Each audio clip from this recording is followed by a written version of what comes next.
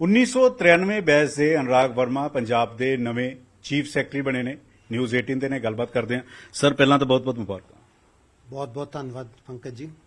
Sir ਪਿਛਲੇ 30 ਸਾਲ ਦਾ ਤੁਹਾਡਾ ਤਜਰਬਾ ਹੈ। ਤੁਸੀਂ ਡੀਸੀ ਤੋਂ ਲੈ ਕੇ ਵੱਖ-ਵੱਖ ਡਿਪਾਰਟਮੈਂਟ ਦੇ ਵਿੱਚ ਕੇ ਲੇਕਿਨ ਹੁਣ ਪੰਜਾਬ ਦੀ ਜਿਹੜੀ ਸਭ ਤੋਂ ਵੱਡੀ ਜ਼ਿੰਮੇਵਾਰੀ ਹੈ ਉਹ ਤੁਹਾਡੇ ਮੋਢਿਆਂ ਦੇ ਉੱਤੇ ਹੈ। ਤਿੰਨ ਏਜੰਡੇ ਮੈਂ ਕਹਾਂ ਕਿ ਸਭ ਤੋਂ ਪਹਿਲਾਂ ਤੁਹਾਡੀ ਪ੍ਰਾਇੋਰਟੀ ਕੀ ਰਹੇਗੀ ਕਿ ਇਹ ਸਭ ਤੋਂ ਪਹਿਲਾਂ ਸਰਕਾਰ ਦੇ ਵਿੱਚ ਆਂਦੇ ਹੀ ਪਹਿਲੇ 3 ਮਹੀਨਿਆਂ 'ਚ ਐਕਸ਼ਨ ਨਜ਼ਰ ਆਏਗਾ। ਪੰਕਜ ਜੀ, ਜਿਵੇਂ ਤੁਸੀਂ ਜਾਣਦੇ ਹੋ ਡੈਮੋਕ੍ਰੈਟਿਕ ਸੈਟਅਪ ਦੇ ਵਿੱਚ ਜਿਹੜੀਆਂ ਪ੍ਰਾਇਰਟੀਆਂ ਨੇ, ਉਹ ਲੋਕਾਂ ਵੱਲੋਂ ਚੁਣੀ ਹੋਈ ਸਰਕਾਰ ਡਿਟਰਮਿਨ ਕਰਦੀ ਹੈ। ਤੋਂ ਸਾਡੇ ਸੀਐਮ ਸਾਹਿਬ ਨੇ, ਤੁਸੀਂ ਜਾਣਦੇ ਹੋ, ਜਿਹੜੀਆਂ ਉਹਨਾਂ ਦੀਆਂ ਪ੍ਰਾਇਰਟੀਆਂ ਨੇ ਹੈਲਥ ਐਜੂਕੇਸ਼ਨ ਕਲੀਨ ਐਡਮਿਨਿਸਟ੍ਰੇਸ਼ਨ ਤੇ ਟਰਾਂਸਪੇਰੈਂਟ ਐਡਮਿਨਿਸਟ੍ਰੇਸ਼ਨ ਲੋਕਾਂ ਨੂੰ ਇਨਸਾਫ ਦੇਣਾ, ਲੋਕਾਂ ਨੂੰ ਮਿਲਣਾ, ਰਾਜ ਵਿੱਚ ਸ਼ਾਂਤੀ ਰੱਖਣਾ, ਤੋਂ ਬਹੁਤ ਸਾਰੀਆਂ ਸੀਐਮ ਸਾਹਿਬ ਨੇ ਪ੍ਰਾਇਰਟੀਆਂ ਰੱਖੀਆਂ ਹੋਈਆਂ ਨੇ, ਤਿੰਨ ਹੀ ਨਹੀਂ ਤੋਂ ਜੋ ਸੀਐਮ ਸਾਹਿਬ ਦੀਆਂ ਸਾਰੀਆਂ ਪ੍ਰਾਇਰਟੀਆਂ ਨੇ, ਉਹਨਾਂ ਤੇ ਸਾਡੀ ਸਾਰੀ ਆਫੀਸਰਸ ਦੀ ਟੀਮ ਤਨਦੇਹੀ ਨਾਲ ਕੰਮ ਕਰੇ, ਇਹ ਮੈਂ ਪੂਰੀ ਤਰ੍ਹਾਂ ਇਨਸ਼ੋਰ ਕਰਾਂਗਾ। ਪਬਲਿਕ ਨੂੰ ਸਾਰੀਆਂ ਹੈਲਥ ਫੈਸਿਲਿਟੀਆਂ ਜਿਹੜੇ ਸਾਡੇ 500 ਮੁਹੱਲਾ ਕਲੀਨਿਕਸ ਚੱਲ ਰਹੇ ਨੇ, ਉਹ ਪੂਰੀ ਤਰ੍ਹਾਂ ਇਫੈਕਟਿਵਲੀ ਗਰਾਊਂਡ ਤੇ ਕੰਮ ਕਰਨ। ਹੋਰ ਉਹਨਾਂ ਦੀ ਗਿਣਤੀ ਜਿਵੇਂ ਜਿਵੇਂ ਸੀਐਮ ਸਾਹਿਬ ਸਾਨੂੰ ਦਿਸ਼ਾ ਨਿਰਦੇਸ਼ ਦੇਣ ਵਧਾਵਾਂਗੇ। ਸਕੂਲਸ ਆਫ ਐਮੀਨੈਂਸ ਉਹਨਾਂ ਨੂੰ ਅਸੀਂ ਬਿਲਕੁਲ ਐਕਸਲੈਂਟ ਇਹ ਜੇ ਬਣਾਵਾਂਗੇ ਕਿ ਉਹ ਸਾਰੇ ਦੇਸ਼ ਦੇ ਵਿੱਚ ਚਾਨਣ ਮੁਨਾਰੇ ਬਣਨ। ਉਸੇ ਤਰ੍ਹਾਂ ਐਂਟੀ ਕਰਪਸ਼ਨ ਦੀ ਡਰਾਈਵ ਜਿਹੜੀ ਸੀਐਮ ਸਾਹਿਬ ਨੇ ਚਲਾਈ ਹੋਈ ਹੈ ਟਰਾਂਸਪੇਰੈਂਟ ਐਡਮਿਨਿਸਟ੍ਰੇਸ਼ਨ ਦੀ ਜਿਹੜੀ ਡਰਾਈਵ ਚਲਾਈ ਹੋਈ ਹੈ, ਉਹਨੂੰ ਅਸੀਂ ਬਿਲਕੁਲ ਬਖੂਬੀ ਸਿਰੇ ਚੜਾਵਾਂਗੇ। ਸੀਐਮ ਸਾਹਿਬ ਨੇ ਲੋਕਾਂ ਦੇ ਨਾਲ ਮਿਲਣੀ ਸ਼ੁਰੂ ਕੀਤੀ ਹੈ, ਪਹਿਲਾਂ ਕਿਸਾਨ ਮਿਲਣੀ ਸ਼ੁਰੂ ਕੀਤੀ, ਫਿਰ ਉਸ ਤੋਂ ਬਾਅਦ ਉਹਨਾਂ ਨੇ ਕੈਬਨਿਟ ਦੀਆਂ ਮੀਟਿੰਗਸ ਜ਼ਿਲ੍ਹਿਆਂ ਦੇ ਵਿੱਚ ਜਾ ਕੇ ਕਰਨੀਆਂ ਸ਼ੁਰੂ ਕੀਤੀਆਂ। ਹੁਣ ਉਹਨਾਂ ਦੇ ਪਿੰਡਾਂ ਦੇ ਵਿੱਚ ਜਾਣ ਦੀ ਗੱਲ ਕੀਤੀ ਹੈ। ਇਹ ਜਿੰਨੇ ਵੀ ਸੀਐਮ ਸਾਹਿਬ ਦੇ ਸਾਰੇ ਦਿਸ਼ਾ ਨਿਰਦੇਸ਼ ਨੇ, ਜਿਹੜੇ ਬਹੁਤ ਹੀ ਲੋਕ ਪੱਖੀ ਨੇ, ਇਹਨਾਂ ਨੂੰ ਮੇਰੀ ਆਫੀਸਰਸ ਦੀ ਸਾਰੀ ਟੀਮ ਲੋਕਾਂ ਤੋਂ ਵੀ ਅਸੀਂ ਸਾਰੀ ਫੀਡਬੈਕ ਲੈਂਦੇ ਰਹਾਂਗੇ ਪਬਲਿਕ ਦੇ ਨੁਮਾਇੰਦਿਆਂ ਤੋਂ ਵੀ ਫੀਡਬੈਕ ਲੈਂਦੇ ਰਹਾਂਗੇ, ਜਿੱਥੇ ਕਿਤੇ ਕੋਰਸ ਕਰੈਕਸ਼ਨ ਦੀ ਲੋੜ ਹੈ, ਉਹ ਵੀ ਕਰਾਂਗੇ ਅਸੀਂ, ਤੇ ਅਸੀਂ ਇਨਸ਼ੋਰ ਕਰਾਂਗੇ ਕਿ ਲੋਕਾਂ ਨੂੰ ਸਰਕਾਰ ਵਕਤ, ਵੱਧ ਤੋਂ ਵੱਧ ਸੁਵਿਧਾਵਾਂ ਪ੍ਰਦਾਨ ਕਰੇ ਤੇ ਸਵੱਛ ਪ੍ਰਸ਼ਾਸਨ ਪ੍ਰਦਾਨ ਕਰੇ।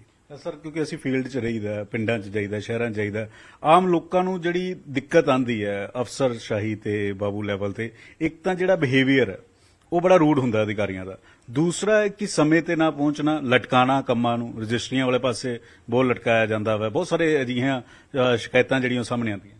ਇਹ ਸਾਰੇ ਨੁਕਤੇ ਜਿਹੜੇ ਨੇ ਜਿੱਥੇ ਜਿੱਥੇ ਵੀ ਪਬਲਿਕ ਨੂੰ ਦਿੱਕਤ ਆ ਰਹੀ ਹੈ, ਤੁਸੀਂ ਥੋੜੇ ਟਾਈਮ ਦੇ ਵਿੱਚ ਹੀ ਉੱਥੇ ਰੀਅਲ ਮੀਨਿੰਗਫੁਲ ਚੇਂਜ ਦੇਖੋਗੇ। ਅਸੀਂ ਅਫਸਰਾਂ ਨਾਲ ਵੀ ਗੱਲ ਕਰਾਂਗੇ, ਜਿੱਥੇ ਕਿਤੇ ਉਹਨਾਂ ਦੀ ਗਲਤੀ ਹੈ ਉਹਨਾਂ ਨੂੰ ਪੁਲ ਅਪ ਕਰਾਂਗੇ, ਜਿੱਥੇ ਕਿਤੇ ਉਹਨਾਂ ਨੂੰ ਗਾਈਡ ਕਰਨ ਦੀ ਲੋੜ ਹੈ, ਉਹਨਾਂ ਨੂੰ ਟ੍ਰੇਨ ਕਰਨ ਦੀ ਲੋੜ ਹੈ, ਉਹਨਾਂ ਨੂੰ ਕੋਈ ਸਪੋਰਟ ਦੇਣ ਦੀ ਲੋੜ ਹੈ, ਉਹ ਸਪੋਰਟ ਦਵਾਂਗੇ। ਓਵਰਹਾਲ ਕਰਕੇ ਸਿਸਟਮ ਦਾ ਅਸੀਂ ਇਨਸ਼ੋਰ ਕਰਾਂਗੇ, ਕਿਉਂਕਿ ਸਾਡਾ ਸਰਕਾਰ ਦਾ ਹੋਂਦ ਵਿੱਚ ਹੋਣ ਦਾ ਪਰਪਸ ਹੀ ਇਹ ਹੈ ਕਿ ਪਬਲਿਕ ਨੂੰ ਵੱਧ ਤੋਂ ਵੱਧ ਕੰਫਰਟ ਸਹੂਲਤ ਦਿੱਤੀ ਜਾ ਸਕੇ। ਤੁਸੀਂ ਪਿੰਡਾਂ ਦਾ ਜ਼ਿਕਰ ਕੀਤਾ, ਮੁੱਖ ਮੰਤਰੀ ਕਹਿ ਰਹੇ ਹੈ ਕਿ ਅਸੀਂ ਪਿੰਡਾਂ ਦੇ ਵਿੱਚ ਮਿਲਣੀ ਕਰਾਂਗੇ। ਅਫਸਰਾਂ ਨੂੰ ਜਾਣਾ ਪਏਗਾ। ਅਫਸਰਾਂ ਨੂੰ ਪਿੰਡਾਂ 'ਚ ਜਾਣਾ ਪਏਗਾ, ਮੁਹੱਲਿਆਂ 'ਚ ਜਾਣਾ ਪਏਗਾ। ਕੋਈ ਰੋਡ ਮੈਪ ਹੈ ਤੁਹਾਡੇ ਕੋਲ ਕਿ ਕਿਵੇਂ ਅਫਸਰ ਪਿੰਡਾਂ 'ਚ ਜਾ ਕੇ, ਕਿਉਂਕਿ ਸਮੱਸਿਆਵਾਂ ਨਾਰਮਲ ਇਹੀ ਹੁੰਦੀਆਂ। ਕਿਸੇ ਛੱਪੜ ਦੀ ਸਮੱਸਿਆ ਹੈ, ਕਿਤੇ ਨਾਲੀ ਨਹੀਂ ਬਣੀ, ਸੜਕ ਨਹੀਂ ਬਣੀ। ਲੇਕਿਨ ਉਹ ਲੰਬੇ ਸਮੇਂ ਤੋਂ ਲਟਕਦੀਆਂ ਆਉਂਦੀਆਂ ਨੇ। ਉਹਨਾਂ ਲਈ ਕੋਈ ਰੋਡ ਮੈਪ ਹੈ ਕਿ ਤੁਰੰਤ ਅਧਿਕਾਰੀ ਪਹੁੰਚੇ, ਸਮੇਂ ਤੇ ਪਹੁੰਚੇ, ਸਮੇਂ ਤੇ ਨਿਪਟਾਰਾ ਹੋਵੇ? ਅਜਿਹਾ ਨਾ ਹੋਵੇ ਕਿ ਜਦੋਂ ਮੰਤਰੀ ਜਾ ਰਹੇ ਹੈ, ਉਦੋਂ ਉਹਨਾਂ ਕੋਲੋਂ ਇਹੀ ਛੋਟੀਆਂ-ਛੋਟੀਆਂ ਸ਼ਿਕਾਇਤਾਂ ਲੈ ਕੇ ਪਹੁੰਚੇ ਨੇ। ਇਹ ਤਾਂ ਬਿਲਕੁਲ ਅਸੀਂ ਆਪਸ ਦੇ ਵਿੱਚ ਡਿਟੇਲ ਚ ਗੱਲਬਾਤ ਕਰਕੇ ਟਾਪ ਲੈਵਲ ਤੇ ਵੀ ਗਰਾਊਂਡ ਲੈਵਲ ਤੇ ਵੀ ਅਫਸਰਸ ਨਾਲ ਫੀਡਬੈਕ ਲੈ ਕੇ ਪ੍ਰੋਪਰ ਇਹਦਾ ਰੋਡ ਮੈਪ ਬਣਾਵਾਂਗੇ ਕਿ ਲੋਕਾਂ ਦੀਆਂ ਸਮੱਸਿਆਵਾਂ ਦਾ ਬਿਲਕੁਲ ਟਾਈਮ ਸਿਰ ਹੱਲ ਹੋ ਸਕੇ। ਲੋਕਾਂ ਨੂੰ ਕਿਤੇ ਬਾਰ-ਬਾਰ ਚੱਕਰ ਨਾਲ, ਚੱਕਰ ਨਾ ਲਗਾਣੇ ਪੈਣ, ਧੱਕੇ ਨਾ ਖਾਣੇ ਪੈਣ, ਜਿਹੜੀ ਗੱਲ ਤੁਸੀਂ ਕਹੀ ਹੈ ਕਿ ਮੰਤਰੀ ਸਾਹਿਬਾਨ ਜਾ ਰਹੇ ਹਨ ਤਾਂ ਛੋਟੇ-ਛੋਟੇ ਨੁਕਤੇ ਉੱਠਣ। ਇਹਦਾ ਪ੍ਰੋਪਰ ਸਿਸਟਮ ਬਣਾਇਆ ਜਾਏਗਾ। ਦੂਸਰਾ ਇਹ ਵੀ ਹੈ ਕਿ ਅੱਜ ਕੱਲ੍ਹ ਆਨਲਾਈਨ ਬਹੁਤ ਸਾਰੇ ਡਿਪਾਰਟਮੈਂਟ ਹੋ ਗਏ ਹੈ।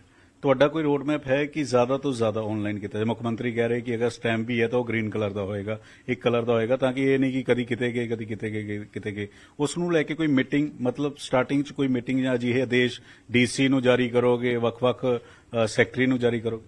ਬਿਲਕੁਲ, ਜਿਹੜਾ ਸੀਐਮ ਸਾਹਿਬ ਦੇ ਤੁਸੀਂ ਗ੍ਰੀਨ ਸਟੈਂਪ ਪੇਪਰ ਦੀ ਗੱਲ ਕੀਤੀ, ਇਸ ਵੇਲੇ ਮੇਰੇ ਕੋਲ ਇੰਡਸਟਰੀ ਮਹਿਕਮਾ ਹੈ, ਜਿੱਥੇ ਅਸੀਂ ਹਾਲ ਦੇ ਵਿੱਚ ਹੀ ਦੋ ਰਜਿਸਟਰੀਆਂ ਕਰਾਈਆਂ ਨੇ ਤੇ ਹਾਰਡਲੀ 15 ਵਰਕਿੰਗ ਡੇਜ਼ ਦੇ ਵਿੱਚ ਅਸੀਂ ਚਾਰ ਮਹਿਕਮਿਆਂ ਨੂੰ ਚਾਰ ਮਹਿਕਮੇ ਤੋਂ ਕਲੀਅਰੈਂਸ ਲੈ ਕੇ ਤਹਿਸੀਲਦਾਰ ਨੂੰ ਇਨਵੈਸਟ ਪੰਜਾਬ ਦੇ ਏਸੀ এনवायरमेंट ਦੇ ਵਿੱਚ ਬੰਦਿਆਂ ਨੇ ਆ ਕੇ ਪ੍ਰੋਪਰ ਬਿਨਾਂ ਕਿਸੇ ਖੱਜਲ ਖੁਆਰੀ ਤੋਂ ਉਹਨਾਂ ਦੇ ਤੁਹਾਨੂੰ ਮੈਂ ਨੰਬਰ ਡਿਟੇਲਸ ਦੇ ਸਕਦਾ ਜਿਨ੍ਹਾਂ ਤੋਂ ਤੁਸੀਂ ਚੈੱਕ ਕਰ ਸਕਦੇ ਹੋ ਕਿ ਉਹ ਕਿੰਨੇ ਖੁਸ਼ ਗਏ ਨੇ। ਉਸੇ ਤਰ੍ਹਾਂ ਅਸੀਂ ਬਾਕੀ ਚੀਜ਼ਾਂ ਬਾਰੇ ਵੀ, ਚਾਹੇ ਮੋਬਾਈਲ ਐਪਸ ਦੇ ਥਰੂ ਚਾਹੇ ਡਿਜੀਟਾਈਜੇਸ਼ਨ ਦੇ ਥਰੂ ਚਾਹੇ ਆਧਾਰ ਕਾਰਡ ਦੀ ਯੂਟਿਲਾਈਜੇਸ਼ਨ ਦੇ ਥਰੂ ਸਾਰੀਆਂ ਚੀਜ਼ਾਂ ਜਿੱਥੇ-ਜਿੱਥੇ ਵੱਖ-ਵੱਖ ਚੀਜ਼ਾਂ ਨੇ ਬਟ ਇਹ ਸਾਰੀਆਂ ਚੀਜ਼ਾਂ ਪਲੈਨਿੰਗ ਮੰਗਦੀਆਂ ਨੇ ਤਾਂ ਕਿ ਇਹੀ ਜੀ ਚੀਜ਼ ਅਸੀਂ ਪੁਖਤਾ ਬਣਾਈਏ ਜਿਹੜੀ ਸਸਟੇਨ ਕਰ ਸਕੇ, ਜਿਹੜੀ ਅਸੀਂ, ਜਿਹਦੀ ਸਕੇਲੇਬਿਲਟੀ ਹੋਏ, ਜਿਹਨੂੰ ਅਸੀਂ ਸਾਰੇ ਪੰਜਾਬ ਦੇ ਵਿੱਚ, ਦੂਰ ਦਰਾੜ ਦੇ ਪਿੰਡਾਂ ਦੇ ਵਿੱਚ ਵੀ ਜਿਹੜੀਆਂ ਸਰਵਿਸਿਜ਼ ਇਫੈਕਟਿਵਲੀ ਦੇ ਸਕੀਏ। ਵਿਜੀਲੈਂਸ ਬਹੁਤ ਐਕਟਿਵ ਹੈ ਕਰਪਸ਼ਨ ਨੂੰ ਲੈ ਕੇ ਲਗਾਤਾਰ ਇੱਕ ਤੋਂ ਬਾਅਦ ਇੱਕ ਮਾਮਲੇ ਸਾਹਮਣੇ ਆ ਰਹੇ ਆ। ਵਿਜੀਲੈਂਸ ਦੀ ਵੀ ਤੁਹਾਡਾ ਅਤਿਰਿਕਤ ਚਾਰਜ ਜਿਹੜਾ, ਉਹ ਤੁਹਾਨੂੰ ਨਾਲ ਦਿੱਤਾ ਗਿਆ। ਉਸ ਨੂੰ ਲੈ ਕੇ ਕੀ ਕੁਝ ਰੂਪ ਰੇਖਾ ਤੁਹਾਡੀ ਰਹਿਣ ਵਾਲੀ ਹੈ? ਵਿਜੀਲੈਂਸ ਦਾ ਜੋ ਵੀ ਉਹ ਕਾਰਵਾਈ ਕਰ ਰਹੇ ਆ, ਉਹਨਾਂ ਨੂੰ ਸਾਰਿਆਂ ਨੂੰ ਰਿਵਿਊ ਕਰਕੇ ਜਿੱਥੇ ਜਿੱਥੇ ਉਹਨਾਂ ਦੀਆਂ ਜੋ ਮੁਸ਼ਕਲਾਂ ਆ ਰਹੀਆਂ ਨੇ, ਉਹ ਆਇਡੈਂਟੀਫਾਈ ਕਰਾਂਗੇ। ਜਿੱਥੇ ਜ਼ਿਆਦਾ ਕਰਪਸ਼ਨ ਹੈ ਉੱਥੇ ਦੋ ਤਰ੍ਹਾਂ ਦੀ ਅਪਰੋਚ ਅਡਾਪਟ ਕਰਨ ਦੀ ਕੋਸ਼ਿਸ਼ ਕਰਾਂਗੇ। ਇੱਕ ਤਾਂ ਸਿਸਟਮ ਨੂੰ ਹੀ ਰਿਫਾਰਮ ਕਰਾਂਗੇ ਕਿ ਜਿੱਥੇ ਜਿੱਥੇ ਕਰਪਸ਼ਨ ਦੀ ਪੋਸਿਬਿਲਿਟੀ ਹੈ ਚਾਹੇ ਡਿਜੀਟਾਈਜੇਸ਼ਨ ਕਰਕੇ, ਚਾਹੇ ਟਰਾਂਸਪੇਰੈਂਸੀ ਕਰਕੇ, ਚਾਹੇ ਰਜਿਸਟਰੀ ਦੇ ਵਿੱਚ ਕੁਝ ਦੱਸ, ਜੇ ਦੱਸਣਾ ਹੈ ਕਿ ਜੀ ਇਹ ਆਹੀ ਰੇਟ ਹੈਗਾ, ਇਸ ਰੇਟ ਤੋਂ ਵੱਧ ਰਜਿਸਟਰੀ ਕਰਾਉਣ ਲਈ ਤੁਹਾਨੂੰ ਫੋਰਸ ਨਹੀਂ ਕੀਤਾ ਜਾ ਸਕਦਾ। ਟਰਾਂਸਪੇਰੈਂਸੀ ਸਿਸਟਮ ਦੇ ਵਿੱਚ ਲਿਆ ਕੇ ਕਿ ਬੰਦੇ ਨੂੰ ਖੁਦ ਹੀ ਪਤਾ ਚੱਲ ਜਾਏ ਕਿ ਮੇਰੀ ਕੀ ਕੀ ਲਾਇਬਿਲਟੀਆਂ ਨੇ, ਮੈਂ ਕੀ ਡਾਕੂਮੈਂਟਸ ਪੂਰੇ ਕਰਨੇ ਨੇ। ਸਿਸਟਮ ਦੇ ਵਿੱਚ ਟਾਈਮ ਲਿਮਿਟਸ ਫਿਕਸ ਹੋ ਜਾਣ ਤਾਂ ਕਿ ਸਿਸਟਮ ਇਹੋ ਜਿਹਾ ਹੋ ਜਾਏ ਕਿ ਮੁਲਾਜ਼ਮਾਂ ਦੇ ਨਾਲ ਟੱਚ ਪੁਆਇੰਟਸ ਬੇਅਰ ਮਿਨੀਮਮ ਹੋ ਜਾਣ ਤਾਂ ਕਿ ਕਰਪਸ਼ਨ ਦਾ ਸਕੋਪ ਬਿਲਕੁਲ ਘਟ ਜਾਏ। ਅਧਿਕਾਰੀਆਂ ਨੂੰ ਕੋਈ ਸਲਾਹ ਦਿਓ ਕਿ ਜਿਹੜੇ ਅਧਿਕਾਰੀ ਸੁਣ ਰਹੇ ਹੋਣੇ ਜਿਹੜੇ ਕਰਪਸ਼ਨ ਦਾ ਸੋਚਦੇ ਨੇ ਜਾਂ ਕੁਝ ਲੇਡ ਲਤੀਫੀ ਕਰਦੇ ਆ ਜਾਂ ਮਾੜਾ ਵਤੀਰਾ ਜਿਹੜਾ ਵਾ ਆਮ ਲੋਕਾਂ ਦੇ ਨਾਲ ਕਰਦੇ ਆ, ਉਹਨਾਂ ਨੂੰ ਪਹਿਲੀ ਚੇਤਾਵਨੀ ਜਾਂ ਪਹਿਲੀ ਕੋਈ ਸਲਾਹ? ਮੈਂ ਸਾਰੇ ਜਿਹੜੇ ਅਧਿਕਾਰੀ ਨੇ ਉਹਨਾਂ ਨੂੰ ਇਹ ਕਹਾਂਗਾ ਕਿ ਅਸੀਂ ਸਾਰੇ ਇੱਕ ਪਰਿਵਾਰ ਇੱਕ ਟੀਮ ਦੀ ਤਰ੍ਹਾਂ ਅਸੀਂ ਕੰਮ ਕਰਨਾ ਹੈ ਤੇ ਸਾਡੀ ਹੋਂਦ ਇਸੇ ਲਈ ਹੈ ਕਿ ਅਸੀਂ ਪਬਲਿਕ ਸਰਵੈਂਟ ਹਾਂ। ਅਸੀਂ ਪਬਲਿਕ ਨੂੰ ਸਰਵਿਸ ਦੇਣੀ ਹੈ। ਤਾਂ ਉਸ ਦੇ ਲਈ ਬਹੁਤ ਜ਼ਰੂਰੀ ਹੈ ਕਿ ਅਸੀਂ ਆਪਣਾ ਸਮੇਂ ਸਿਰ ਦਫ਼ਤਰ ਦੇ ਵਿੱਚ ਆਈਏ। ਅਸੀਂ ਆਪਣਾ ਮਿਹਨਤ ਦੇ ਨਾਲ 8 ਘੰਟੇ ਜਿਹੜੀ ਸਾਡੀ ਡਿਊਟੀ ਹੈ ਉਹ ਕੰਮ ਕਰੀਏ। ਜਿਹੜੀ ਸਾਡੇ ਕੋਲ ਫਾਈਲ ਆਂਦੀ ਹੈ, ਉਸ ਤੇ ਅਸੀਂ ਕੋਈ ਫालतू ਦੇ ਆਬਜੈਕਸ਼ਨ ਨਾ ਲਗਾਈਏ। ਆਪਣੇ ਆਪ ਨੂੰ ਜਿਹੜਾ ਸਾਡੇ ਕੋਲ ਬੰਦਾ ਸਰਵਿਸ ਲੈਣ ਵਾਲਾ ਆਂਦਾ ਹੈ, ਉਹਦੇ ਸ਼ੂਜ਼ ਵਿੱਚ ਰੱਖ ਕੇ ਦੇਖੀਏ ਕਿ ਕਿਸੇ ਵੇਲੇ ਅਸੀਂ ਵੀ ਰਿਟਾਇਰ ਹੋਣਾ ਹੈ ਜਾਂ ਕਿਸੇ ਵੇਲੇ ਸਾਡੇ ਹੀ ਦੋਸਤ, ਮਿੱਤਰ, ਰਿਸ਼ਤੇਦਾਰ ਨੇ ਵੀ ਕਿਸੇ ਹੋਰ ਦਫ਼ਤਰ ਦੇ ਵਿੱਚ ਸਰਵਿਸ ਲੈਣ ਜਾਣਾ ਹੈ। ਤੇ ਜੇ ਉਹਨੂੰ ਧੱਕੇ ਖਾਣੇ ਪੈਂਦੇ ਹਨ ਤਾਂ ਸਾਨੂੰ ਕਿਸ ਤਰ੍ਹਾਂ ਦਾ ਮਾੜਾ ਲੱਗਦਾ ਹੈ? ਤਾਂ ਪਹਿਲੀ ਤਾਂ ਮੇਰੀ ਉਹਨਾਂ ਨੂੰ ਅਪੀਲ ਹੈ ਕਿ ਆਪਾਂ ਆਪਣੀ ਸੋਚ ਇਸ ਤਰ੍ਹਾਂ ਦੀ ਰੱਖੀਏ ਕਿ ਆਪਾਂ ਪਬਲਿਕ ਸਰਵੈਂਟ ਹਾਂ ਤੇ ਪਬਲਿਕ ਨੂੰ ਵਧੀਆ ਸਰਵਿਸ ਦਈਏ। ਬਟ ਜਿਹੜੇ ਸਾਡੇ ਕੋਈ ਮੁਲਾਜ਼ਮ ਸਾਥੀ ਦੋ, ਤਿੰਨ, ਚਾਰ ਵਾਰਨਿੰਗਸ ਤੋਂ ਬਾਅਦ ਵੀ ਪਬਲਿਕ ਸਰਵੈਂਟ ਦੀ ਸਹੀ ਅਪਰੋਚ ਨਹੀਂ ਅਡਾਪਟ ਕਰਨਗੇ, ਸਰਕਾਰ ਨੂੰ ਮਜਬੂਰਨ ਉਹਨਾਂ ਦੇ ਖਿਲਾਫ ਸਖਤੀ ਦਾ ਰਖ- ਰੁਖ ਵੀ ਅਖਤਿਆਰ ਕਰਨਾ ਪੈ ਸਕਦਾ ਹੈ। ਸਰ, ਜਿਹੜੇ ਅਧਿਕਾਰੀ ਆਪਣੀ ਜਗ੍ਹਾ ਕਿਸੇ ਹੋਰ ਨੂੰ ਰੱਖ ਲੈਂਦੇ ਆ ਜਾਂ ਜਿਹੜੇ ਅਧਿਕਾਰੀ ਕੈਨੇਡਾ ਜਾਂ ਕਿਤੇ ਬਾਹਰ ਸ਼ਿਫਟ ਹੋ ਗਏ ਕਈ ਕਈ ਸਾਲਾਂ ਤੋਂ ਆਏ ਨਹੀਂ, ਉਹਨਾਂ ਤੇ ਕੋਈ ਐਕਸ਼ਨ ਹੋਏਗਾ? ਇਹ ਜਿਹੜੀ ਤੁਸੀਂ ਗੱਲ ਕਰ ਰਹੇ ਹੋ, ਇਹ ਇਹਦੀਆਂ ਕੰਕਰੀਟ ਲੇਡ ਡਾਊਨ ਪਾਲਿਸੀਜ਼ ਹੈਗੀਆਂ ਪਰਸਨਲ ਡਿਪਾਰਟਮੈਂਟ ਦੀਆਂ ਇਨਸਟਰਕਸ਼ਨਸ ਹੈਗੀਆਂ, ਤੋਂ ਮੇਰੀ ਸਮਝ ਤਾਂ ਇਸ ਤਰ੍ਹਾਂ ਦੇ ਕੇਸ ਹੁਣ ਬਹੁਤ ਹੀ ਘੱਟ ਨੇ ਬਟ ਜੇ ਕੋਈ ਤੁਹਾਡੇ ਧਿਆਨ ਚ ਇਹ ਜੇ ਕੇਸ ਹਨ, ਤੇ ਤੁਸੀਂ ਮੇਰੇ ਧਿਆਨ ਚ ਲਿਆਓਗੇ, ਉਹਨਾਂ ਦੇ ਵਿੱਚ ਡਿਟਰੈਂਟ ਐਕਸ਼ਨ ਹੋਏਗਾ।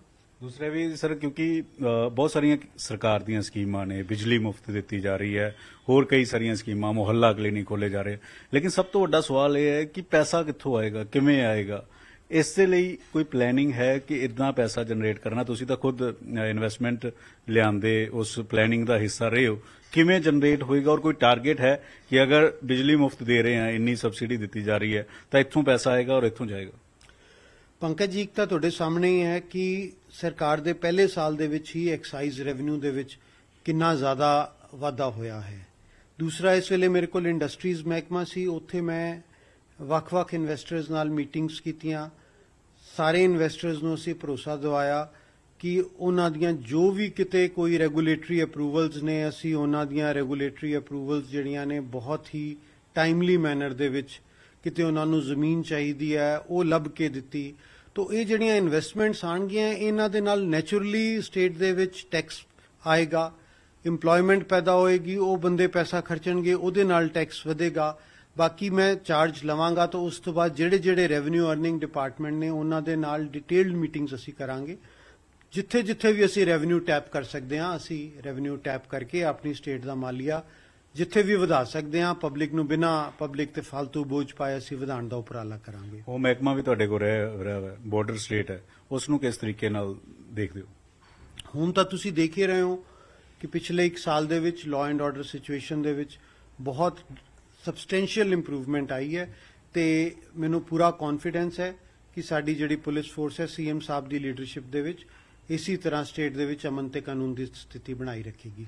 ਸਰ 30 ਸਾਲ ਦੀ ਤੁਹਾਡੀ ਸਰਵਿਸ ਇੰਜੀਨੀਅਰਿੰਗ ਦੇ ਵਿੱਚ ਤੁਸੀਂ 골ਡ ਮੈਡਲ ਲਿਆਂਦਾ। ਟੀਚਰ ਦੇ ਘਰ ਪੈਦਾ ਹੋਏ, ਤੁਹਾਡੇ ਮਦਰ ਤੁਹਾਡੇ ਫਾਦਰ ਕੈਮਿਸਟਰੀ ਦੇ ਟੀਚਰ ਸੀ।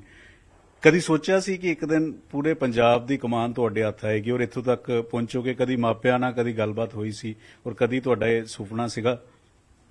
ਸੁਪਨਾ ਤਾਂ ਸੀ ਬਟ ਇਹ ਰੱਬ ਦੀ ਮਿਹਰ ਹੈ ਕਿ ਰੱਬ ਨੇ ਮੈਨੂੰ ਮੌਕਾ ਦਿੱਤਾ ਹੈ ਕਿ ਮੈਂ ਇਸ ਮੁਕਾਮ ਤੇ ਪਹੁੰਚ ਕੇ ਆਪਣੇ ਰਾਜ ਦੇ ਲੋਕਾਂ ਦੀ ਸੇਵਾ ਕਰ ਸਕਾਂ। ਮੇਰੀ ਪ੍ਰਭੂ ਅੱਗੇ ਹੀ ਅਰਦਾਸ ਹੈ ਕਿ ਮੈਨੂੰ ਬਲ ਬਖਸ਼ੇ ਕਿ ਮੈਂ ਆਪਣੀ ਸੂਬੇ ਦੇ ਪਬਲਿਕ ਦੀ ਵੱਧ ਤੋਂ ਵੱਧ ਸੇਵਾ ਕਰ ਸਕਾਂ। ਚਲੋ best of luck sir Punjab ਦੇ ਨਵੇਂ ਚੀਫ ਸੈਕਟਰੀ ਨਿਊਜ਼ 18 ਤੇ ਜੁੜੇ। ਰੋਡ ਮੈਪ ਕੀ ਹੈ ਇਸ ਵੇਲੇ ਚੀਫ ਸੈਕਟਰੀ ਦਾ? ਕਿਸ ਤਰੀਕੇ ਦੇ ਨਾਲ ਕਿਹੜੇ ਮੁੱਦਿਆਂ ਤੇ ਜਾਣਾ ਹੈ? ਔਰ ਜਿਹੜੇ ਅਫਸਰ ਸਮੇਂ ਤੇ ਨਹੀਂ ਆਉਂਦੇ ਜਾਂ ਲੋਕਾਂ ਨਾਲ ਮਾੜਾ ਵਤੀਰਾ ਕਰਦੇ ਨੇ, ਉਹਨਾਂ ਨੂੰ ਵੀ ਸਿੱਧਾ ਇੱਕ ਨਿਵੇਦਨ ਵੀ ਹੈ, ਚੇਤਾਵਨੀ ਵੀ ਹੈ ਕਿ ਸੁਧਰ ਜਾਓ। ਕੈਮਰਾਮੈਨ ਜਤਿੰਦਰ ਸਿੱਧੂ ਦੇ ਨਾਲ ਪੰਕਜ ਭਾਈ ਨਿਊਜ਼ 18 ਚੰਡੀਗੜ੍ਹ।